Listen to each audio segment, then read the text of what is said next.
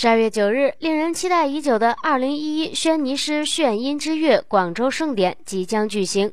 届时，摇滚天团 Train、英国新生代 R&B 天后 Alexandra Burke、韩国多栖艺人朴正问及天生歌姬 Aline 等出席。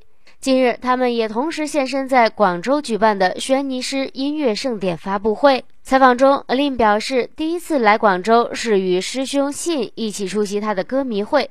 而此次则是用自己的歌曲让观众认识自己，也希望届时能将好的表演带给大家。第二次，对，第二次来，第一次是因为呃跟我的师兄姓。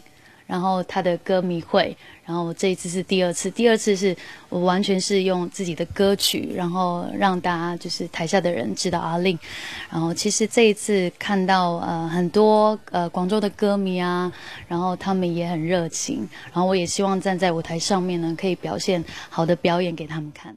另外，摇滚天团 Train 表示，三人合作多年，非常了解各自的强弱项。在制作专辑的过程中，也会让大家展现各自的强项。对于其他不同的观点，会不断尝试，以求达成一致。不过，如果还有不同意，就会立即踢出乐队。随后，他们更玩笑称，乐队曾有十位成员。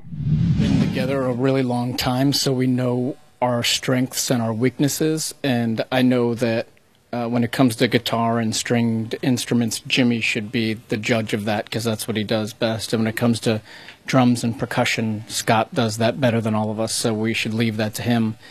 Uh, and when it comes to vocal stuff, for the most part, uh, I'm left to that. And when it comes to the other parts, uh, bass lines and keyboard stuff, then we come together and just try to we try a bunch of things, and the one that sounds best will, you know, be the one that wins, and typically we agree on that. And anyone that doesn't agree is kicked out of the band immediately. we used to have 10 people. yeah.